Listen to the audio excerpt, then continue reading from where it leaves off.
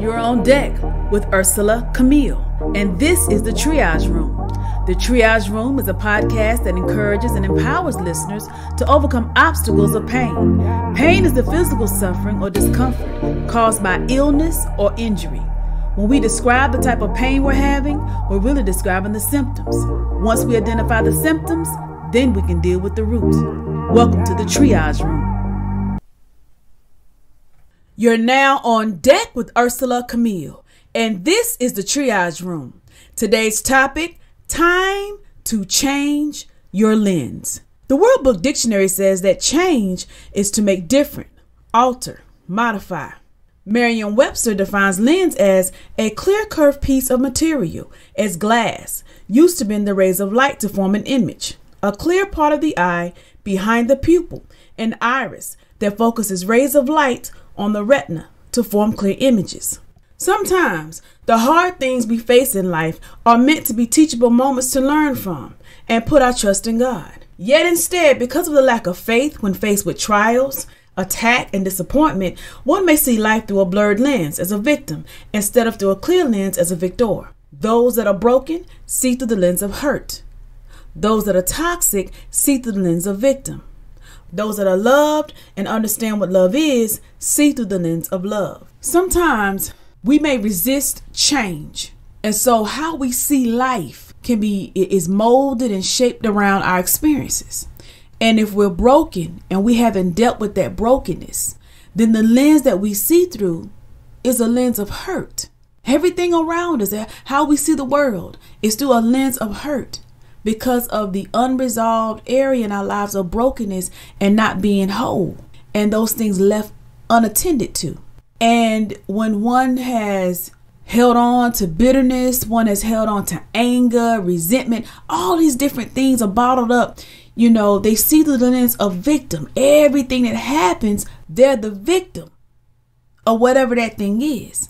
And so they're very toxic. Not dealing with the unresolved issues within contributes to the lens you see through. And even if, you know, you're one who understands what love is, you understand it, you know what it is, you can identify with it, then the way you see life is through the lens of love.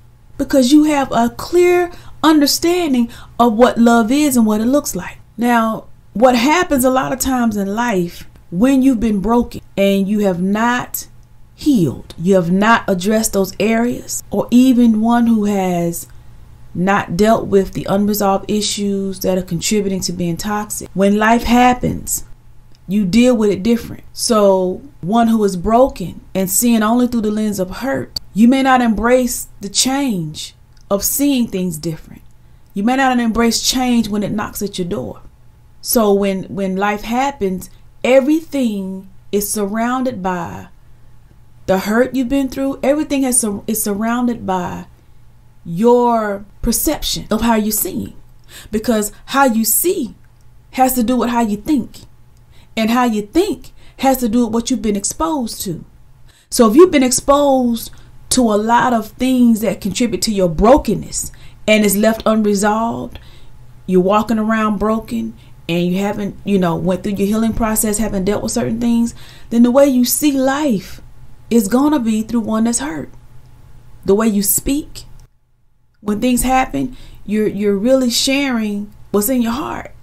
You're sharing your present state because out of the heart the mouth speaketh so what's in your heart is coming out so not dealing with the brokenness contributes to your perception contributes to the, to the lens you see through not dealing with the bitterness not dealing with the anger contributes to the lens you see through so if you're always you know the victim of a situation there's some unresolved issues that need to be dealt with and sometimes in life, you know, some people embrace change better than others. And when we decide that we want to see better, we want to see things clearer, we want to see things for the way that they are and not for the way we want them to be, you know, that is a positive thing. Because now we're preparing ourselves to see the way we should see and not based on the circumstance or the situation we may have experienced. Here's my moment of transparency. I resisted change for a while, and it was because of that was my way of self preservation because of fear. Fear, which we know comes to paralyze. You know, fear will grip you and it'll paralyze you. But what happened with myself is I resisted change because after dealing with circumstance after circumstance and painful situation back to back, one thing after the next, the safe place for me during that time was to keep things the same. That way I could make sure nothing could could enter into to cause me pain, to hurt me. And so to to know what to expect because it just seemed like every time you looked up, things were forever changing.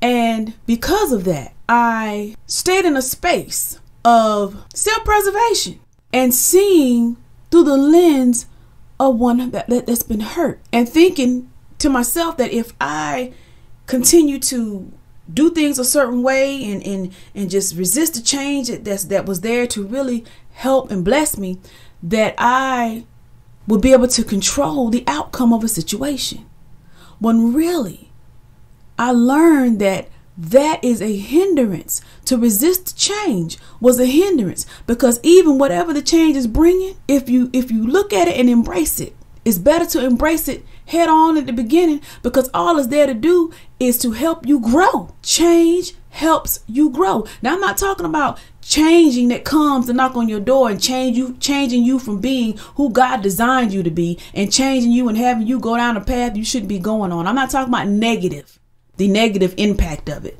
what it comes to do, you know, to take you away from where you're supposed to be. I'm talking about that change that comes that even though it could be a negative, knocking on the door, that you do not really um like and it leaves a bad taste in your mouth, there is still something in that because how you deal with it, you know, stretches you beyond. Your faith can be activated in it and you get to see the glory of the Lord upon your life. You get to see God move on your behalf. You get to see sometimes we don't even understand how or, or, we don't understand what God has done in us or what's there to help us propel forward until we're placed in a situation. We're placed with circumstances, we're placed with change that comes that we didn't even invite. That we didn't really care for. We don't we don't want to have any parts of it. However, if it was intended for us to remain the same and never grow, then when we come and we're infants, could you imagine being an infant and now being the age that you are you're still eight pounds or you're still nine pounds and you're still that size. You're still codependent on someone else to feed you. You're still codependent in some areas. And, and when it comes to, to change, that is a part of life. You go from infancy, there's a toddler, there's a young child, now you're going to be a teenager, then there's a young adult, now you're a full grown adult. Each phase of life so each stage as you're growing shows you there's different phases in life. Different phases in life that require different things. To change our lens, change the way that we see life, change the way we're seeing the circumstance that we really may not care for at that time. But what is it that we need out of it to help us to grow? Because sometimes the things that we really don't like to leave a bad taste, but really that thing there can contribute to a growth that if we didn't experience it, then that growth part of our life wouldn't have happened. Some things cause you to multitask because okay, the change is. I'm gonna use an example like this. Let's say you know you're you're you have a team of people. It's four of you or five of you, and out of the five of you, three walk away, and there's two left. So now the two have to do what five would normally do. It's a negative impact on the team, but the two that now have to do what the five used to do now there's some new skill sets put in place. There's some stretching that's there to show you wait a minute, you do have the capacity to get it done. Where you once thought maybe you couldn't, you just had to rearrange some things. Some things had to be stretched, some things had to be restructured, but now you can see it got done. And sometimes when those changes come about that we resist, we're hindering our opportunity for growth and development. It may not feel good at the time. However, it's for our good. How can you heal if you don't deal with the brokenness? You'll always see through the lens of hurt when you're broken. You'll always see through the lens of victim when you're toxic. Unresolved issues. So we never deal with the things that are inside the, the anger, the bitterness, the resentment. If that's left unresolved, then we will see through a lens of victim in every situation in life. And we, we have to change the way we see. If we want better, it all starts with how do you see life? How do you see your situation? How do you see your circumstance?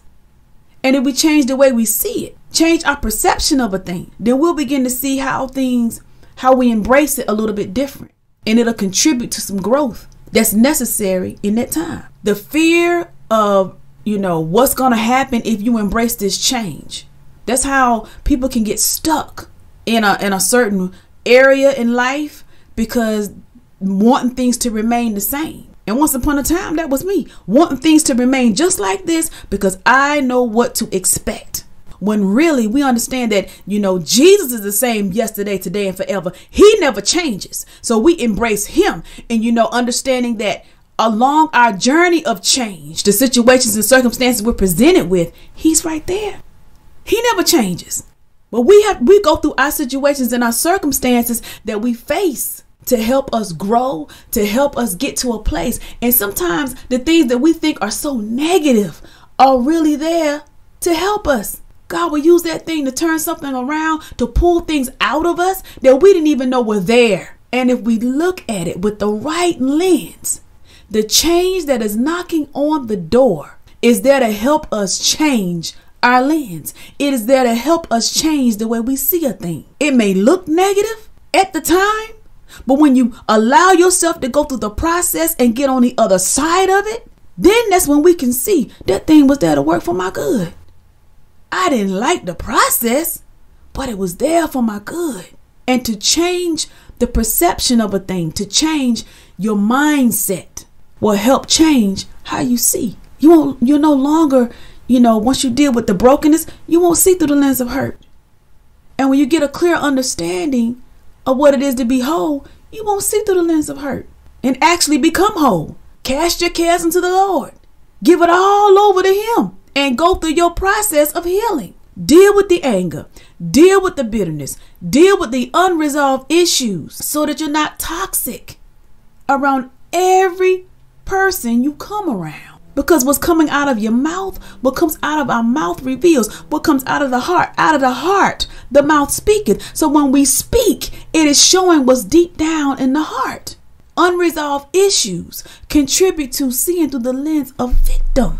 And if we take the time to embrace the change, the change that comes to help us see life better, to help us see the way we should see properly, and embrace whatever that is that's there to help us get to the next step, the next place in life, so that we don't get stuck in a certain place. That's how life can go on and you remain as if it was a certain period, a certain time in life. And in that part of life, no, things have continued to move on.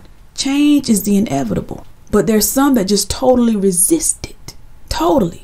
Now, when COVID 19, when, when this presented itself, that was a big change worldwide. And a lot of adjustments had to be done. Well, people once, you know, did things a certain way. Now, teleworking became a thing of acceptance. Teleworking had to be put in place to continue to get a process done a different way. Virtual learning how do we get this done a different way? Changing the lens to see. Here's a situation that presented itself that we didn't ask for, but it's here. But how do we continue to move forward and make sure we're productive to resist that change? To say, no, we're going to continue, or things being the same way like they were before. To resist that change? No. Change is a part of growth, and there's going to be challenge within that. But when we see life through the lens of love, because we've taken the time to deal with the brokenness. We've taken the time to deal with the the pain the anger the the resentment the bitterness all of that. When we've taken the time to deal with the unresolved issues. And we begin to embrace the change. Growth is right there. Growth is in the process and get a true definition and understanding and clear understanding of what love is, then we can walk in love, then we can operate in love, and then we can see through the lens of love. But we must first deal with the things that are going on to keep us from seeing clearly. Change is all a part of life. How will we embrace the change that has presented itself? How will we embrace the change that will present itself? Because change is going to always knock at our door. The only thing that doesn't change is Jesus. He is the same today, yesterday, and forever. We have change that knocks at our door. And that's what happened with the Pharisees and the Sadducees. They did not want to embrace change. They wanted things to remain just the way that they were. And Jesus came on the scene and they did not like what he came with. And just like us, when we look at our lives, there'll be situations where we're the change. And there'll be others that don't like what we come with because we're the change. And they'll resist what we bring to the table. But we have to change our lens and not go into those situations as if we're a victim and know that, hey, when you know who you are and you know your assignment in a thing, everybody's not going to embrace. You're not going to always be welcomed. But if we change our perception, change our lens that we're seeing through and understand, you know, understand that if those that you are in the presence of don't receive you, that's not for you to internalize. You do what it is you know you've come to do, but don't take it personal. If we change our lens from seeing as if the change has presented itself as a negative thing, we'll move forward and not get stuck. Sometimes change will be uncomfortable. You know, it presents itself. It's not going to always be smooth selling. But we have to change how we see change within itself when it knocks at the door. And if we continue to resist the change, then what we're saying is, I resist the growth. I resist the opportunity to grow. That's what we're saying when change knocks at the door and we choose not to answer. I'm not talking about something that comes to change your walk with God. That's not what I'm talking about. I'm talking about those circumstances that we have no control over, but they keep knocking. Things that we have no control over, but they keep knocking. Things that come, they may look negative, but if we embrace it, like the example of the five people, now narrow it down to two. Two people doing the job of five. However, that stretching during that time could show the two what they never knew they could do until faced with the opportunity to have to do it. And that's what happens with change. Those things that come contribute to letting us see ourselves and things that we're faced with a different way. It's time to see things different. No more seeing it from a hurt place or a broken place. No more seeing it from a toxic place because of unresolved issues. Deal with those issues. Deal with those things. No more seeing it from a victim, but changing our lens to see through one that is healed, changing our lens to see as one that is that is love and loved, and changing our lens to see that even though this thing that may knock at my door, I did not ask for it, I did not welcome. But one thing I know that Jesus is the same today, yesterday, and forever. And if this has knocked at my door, the Lord knew it was coming. If this has knocked at my door, I trust the Lord to get me through it. If this has knocked at my door, I trust the Lord that I'm going to give this over to Him and ask Him to help me navigate through this thing called change. And as I go through the change, as I embrace this change, this shall contribute to my lens being changed. It shall contribute to how I see different in a better way, in a healthier way. Sometimes it takes certain things to let us see what's been there inside of us the entire time. The growth that is necessary to get to the next phase, the next stage in life, consists of change. If you have been seeing life through a blurred lens of brokenness, discouragement, or victim, I encourage you today to change your lens. Let us pray. Father God, I come to the name of Jesus, Lord, to say thank you.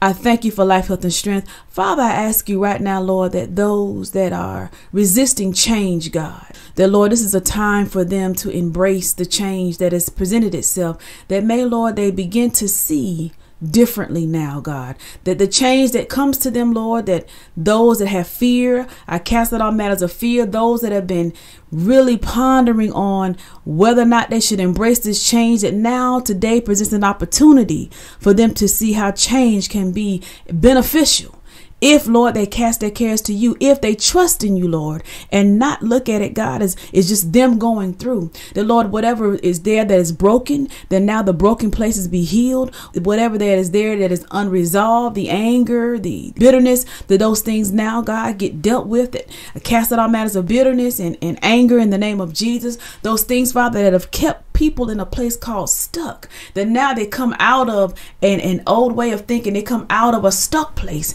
and begin to embrace the change god that has presented itself to now allow them to see the way you intended for them to see to change their perception of a thing, to see it the right way, to see it in truth, and not be blinded by the thing, what it is, Father, that you're having presented itself to help them get to another place in life. So, God, I thank you for this opportunity to help speak into the lives of others, speaking to those lives of those that are tuning in, Lord, to understand that change is going to present itself, but it's how we embrace it that will contribute to our growth, that will contribute to our healing, that will contribute to us getting to the next place of where we need to be. May every broken place now be made whole. May the places that have once lacked love now be filled with love. May the lenses that once were lenses of victim, were lenses of hurt, now be lenses of, of wholeness, now be lenses of truth in the name of Jesus as we understand more about the benefits of change and allowing those things to contribute to us changing our lens. In Jesus' name I pray. Amen. You all be blessed. Thank you for joining me on deck in the triage room. To get the music you hear in this podcast or to stay connected, visit my website, urselacamille.com. That's U R S E L A C A M I L L E.com. Sign up on my email list, get merch, and more. Have an area of pain you want to address in the triage room? Send your email to the triage room at gmail.com. I'm your host, Ursela Camille, signing off. Be blessed. One touch and your life will change. Did you know that Jesus reigns? One touch and your life will change.